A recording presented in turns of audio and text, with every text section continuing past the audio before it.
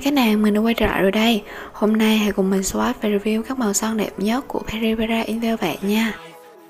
Đầu tiên là màu số 23, một tông son nude không kén tông da Nếu bạn là một cô nàng da ngâm và đang đau đầu tìm một màu son nude phù hợp, không quá kén da Thì đây là sự lựa chọn rất nên thử đó.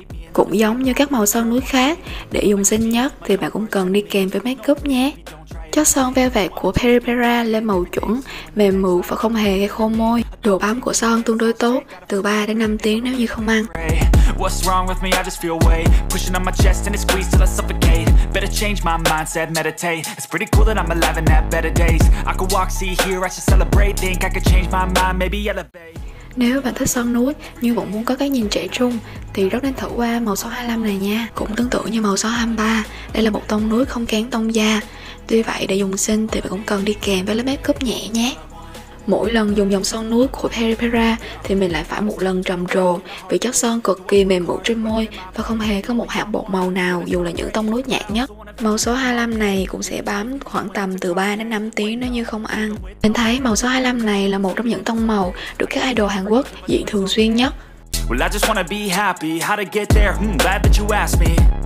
I think it's different for everyone. Some of us need work, others need fun. Some of us need purpose to overcome. But try to do what you love when it's said and done. Màu son tiếp theo trong video hôm nay là màu số 31 Một tông nude trầm có ánh tím.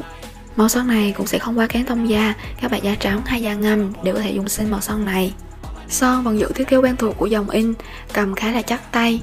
Dung tích của son là 4g và không biết bạn có để ý hay không, nhưng màu của nắp son sẽ giống với màu bên trong son đến 90% lận đó. Nên bạn cũng có thể dễ dàng nhìn vào màu nắp son để đoán màu son bên trong đó.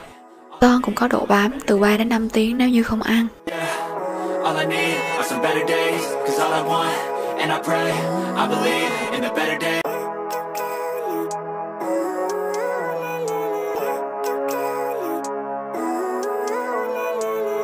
Living life every day Nói đến cái màu son đẹp nhất của Peripera thì chắc chắn không thể bỏ qua màu son 103 này. Đây là một tông đỏ đất siêu tôn da và trắng răng và có thể dùng xinh trên cả mặt mọc luôn đó. Vì là tông màu đỏ nên độ bám của son cực kỳ tốt, từ 5 đến 6 tiếng nếu như không ăn. Và sau khi ăn, son sẽ còn lại lớp chin màu cam vàng bản màu son núi của Peripera khá là nhiều, nhưng theo mình thấy đa số đều là những tông màu hợp với thị hiếu của các bạn Hàn Quốc và khá là kén da so với tông da chung của người Việt mình. Nhưng bù lại thì chất son của Peripera không có gì để chê, bạn cũng có thể mua về để dùng làm base cũng xinh lắm nha.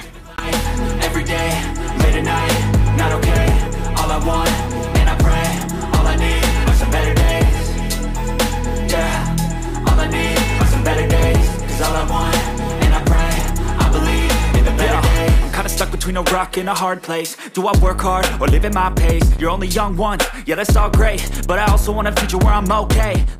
Cảm ơn các nàng đã xem đã hết video. Hẹn gặp lại các nàng trong các video tiếp theo. Subscribe xem thêm nhiều màu song sinh cho Giang Âm nhé.